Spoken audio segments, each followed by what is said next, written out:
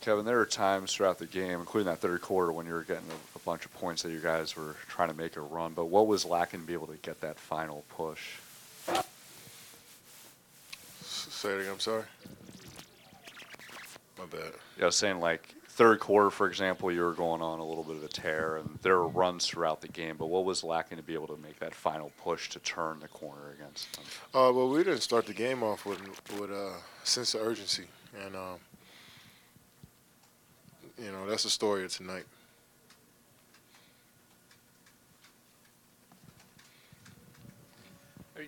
Is Serge looking kind of like the, the Oklahoma City version? I know he hit a little bit of a lull at times in his career, but like, th- does he look as fresh as, as you've seen him in a couple years? What low did he hit? He's looking numbers, field goal percentage wise, block wise, in that pocket of his career. Orlando. Uh, How fresh is he looking? Uh, he looks great. I mean, I think he's just uh, he's playing the center. I think that helps him out when he plays the center.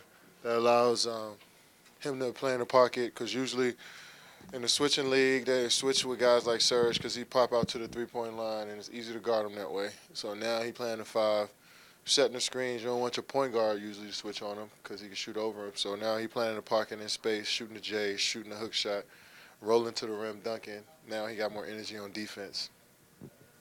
Kevin, when you realize you come out uh, without that sense of urgency and you recognize that as a team, what goes on with the coaching staff and the players to try to try to get back in the game, try to get that back? We'll just look for one play to uh, turn the corner for, try to turn it for you, and um, we made a play, and then they made two or three plays. So you gotta give them credit. Kevin, Steve said that uh, sometimes when you a situation like you guys are in, where you guys are defending a title, have established yourself to be where you are, and you're playing a team like Toronto, which is on the rise like they are, sometimes it's a little harder to get up in your position than it is in their position. Do you buy that? No. And the other thing that Draymond said that uh, in this particular game, at least, that when the team's aggression is low, energy's not there, that it's really more on the players, the veterans, to get things going than the coaching staff. yeah, for sure. Kevin, off Monty's question, when you've been on teams that are trying to build for a title, you've been on teams that have won a title and trying to defend. How much do two wins like they've had in the last couple weeks against you guys? How much confidence does that give a younger team all the way throughout the rest of the season?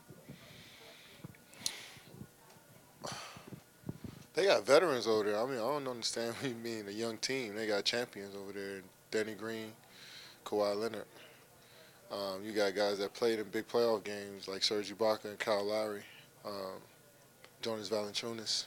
You got young players. They got a great mix of veterans and young players. Um, they got a new coach, but the leaders of that team have been through some wars, so I wouldn't call them a young team, or I won't say them beating us two times is going to give them extra confidence. They've been balling before that, and and they're going to be balling after they beat us. So, I mean, they're not an up and coming team. They're here. Kev, did you think the fact that the, this was the Raptors' second game in as many nights, and the fact that Kawhi was out, do you think that probably had an effect on, the sense of urgency from the jump? I don't want to say that. I mean, that's not what we're going to say.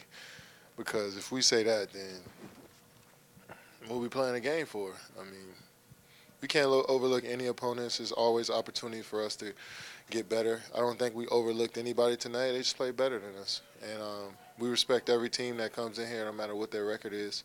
And uh, they play better than us. So we got to be. We have to be a better basketball team next game, and going down the line if we want to get to where we want to get to.